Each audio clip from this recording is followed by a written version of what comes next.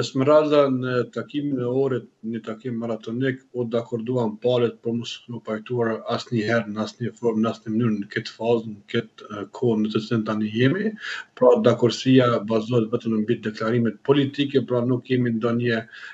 pajtueshmëri apo pajtim apo nënshkrim të aktit të asaj marrëveshjeje e cila i obligon palët të jenë,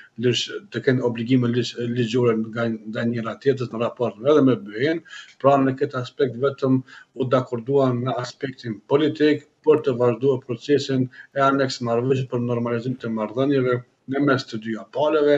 Mund të themi në këtë aspekt vetëm një fitore është për bashkësinë ndërkombëtare e cila tanimë e ka krijuar një status quo të re në një fazë interesante ku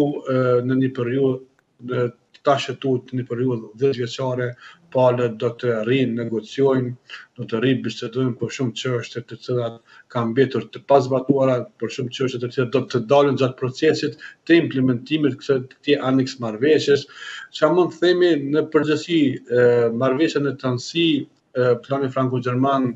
aneks marrëveshja, e ka dhënë një determin, determinacion më të interesant të zhvillimeve, ka bërë një impakt interesant se për këtë ata janë të vetëdijshëm, një, një çështje, ku Kosova e ka futur edhe një element të saj, që ndoshta, siç e ka potencuar edhe Kryeministri Edi Rama,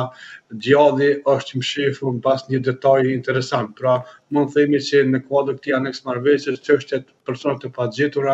do të jetë një tematikë bukur e ndjeshme, po bukur e nxehtë sepse pala serbe i ka të gjitha të dhënat të personave të pagjetur në kuadër të aktivitetit të tyre shovinist e terrorist që kanë bërë ndaj civilëve shqiptarë. E kuptoj. Dërsa...